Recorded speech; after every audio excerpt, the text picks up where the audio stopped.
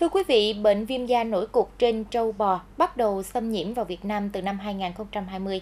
Đến nay, loại bệnh này đã gây thiệt hại cho ngành chăn nuôi tại nhiều tỉnh thành trên cả nước, với tổng đàn gia súc bị bệnh buộc phải tiêu hủy là 1.500 con. Tại Sóc Trăng hiện chưa ghi nhận báo cáo dịch bệnh từ các địa phương. Tuy nhiên với tổng đàn trâu bò hiện có là trên 56.000 con, nguy cơ phát sinh dịch bệnh là rất cao nếu không chủ động giải pháp phòng ngừa ngay từ đầu.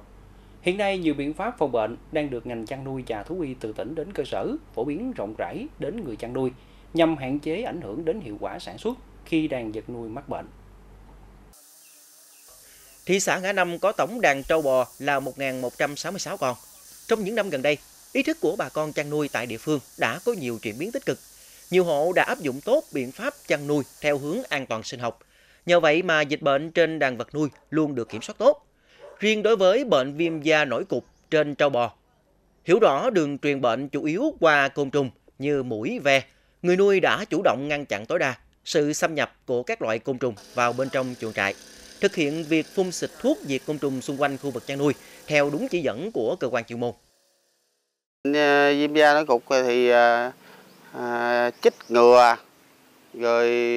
mụn bọng rồi kêu đừng thường xuyên đừng cho gùi mũi rồi vô với thường xuyên ít có người lợi lợi vô lắm ít cho người vô lắm vệ sinh chuồng trại mình xịt thuốc sát trùng quét dọn rồi cho nó sạch sẽ cho nó có không có ruồi mũi rồi nó ẩn trú rồi Bệnh viêm da nổi cục hiện chưa có thuốc điều trị đặc hiệu. Tiêm phòng vaccine cho đàn trâu bò là biện pháp chủ động, hữu hiệu nhất để phòng bệnh. Vì vậy, bên cạnh việc đẩy mạnh công tác tuyên truyền các biện pháp phòng ngừa bệnh bằng nhiều hình thức khác nhau, hàng năm, Trạm chăn nuôi và thú y huyện Thanh Trị còn tham mưu cho Phòng Nông nghiệp và Phát triển Nông thôn huyện xây dựng kế hoạch tiêm phòng bệnh cho đàn trâu bò mới phát sinh và tiêm nhắc lại cho những đàn đã được tiêm vaccine sau gần một năm. Hiện nay, tỷ lệ tiêm phòng vaccine ngừa bệnh viêm da nổi cục tại địa phương đạt tỷ lệ là 80%, trong tổng số đàn trâu bò hiện có là trên 6.000 con.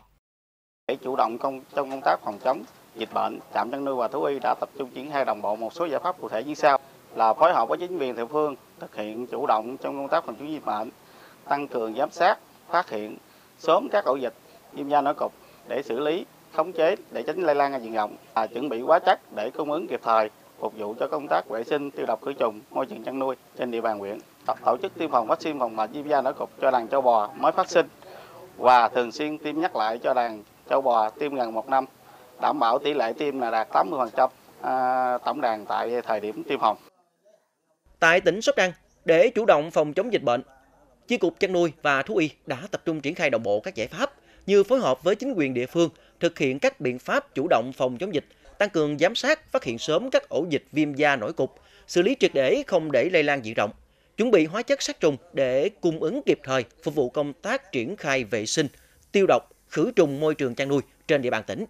Tổ chức tiêm vaccine phòng bệnh cho đàn trâu bò mới phát sinh và tiêm nhắc lại cho đàn trâu bò đã được tiêm vaccine sau gần một năm. Bên cạnh đó, đơn vị còn tăng cường công tác kiểm dịch vận chuyển, kiểm soát giết mổ và xử lý nghiêm các trường hợp vận chuyển, mua bán trâu bò không rõ nguồn gốc nhập tỉnh. đối với những bệnh này thì à, à, người chăn nuôi nên là phải là chăn nuôi theo hình thức kín là nuôi theo hình thức là mùng để là hạn chế những cái vector gây bệnh đối với cái cơ, cơ côn trùng mà nó nó xâm nhập đối với như ruồi mũi sẽ đó là những cái con uh, di trùng. Nó nó nó sẽ chích vô cái cái con ờ, vật nó bị bệnh sẽ đem qua chỗ khác thì nó lây lan cái cái cái cái đàn vật nuôi của của địa phương. Khuyến cáo người chăn nuôi đó, nên tiêm phòng vaccine. Tại vì vaccine đối với dịch à, đối với cái bệnh viêm da nổi cục vaccine chích rất là hiệu quả. Rồi nó là nó là một cái liều hữu hiệu để để phòng chống dịch bệnh. Hiện nay, Chi cục chăn nuôi và thú y đã chuẩn bị đầy đủ vaccine phòng bệnh viêm da nổi cục trên trâu bò. Bà con có thể liên hệ với nhân viên thú y xã hoặc trạm chăn nuôi và thú y huyện, thị xã để đăng ký tiêm phòng và để được hướng dẫn tiêm phòng cho đàn vật nuôi. Cơ quan chuyên môn cũng lưu ý hộ nuôi cần chủ động áp dụng các biện pháp chăn nuôi an toàn sinh học, vệ sinh khử trùng tiêu độc để tiêu diệt các vector truyền bệnh. Thường xuyên theo dõi giám sát đàn vật nuôi. Trường hợp phát hiện trâu bò có biểu hiện mắc bệnh viêm da nổi cục cần phải báo ngay với chính quyền địa phương hoặc cơ quan thú y nơi gần nhất để được hướng dẫn xử lý kịp thời, tránh để lây lan trên diện rộng.